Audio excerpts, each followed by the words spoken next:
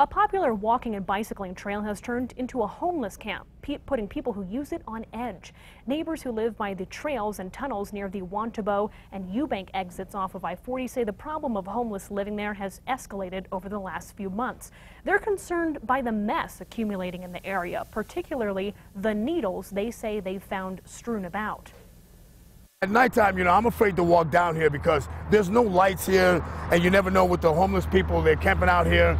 You never know if you're going to get attacked or what might happen. Just people fighting, you know, drunk, fighting, arguing.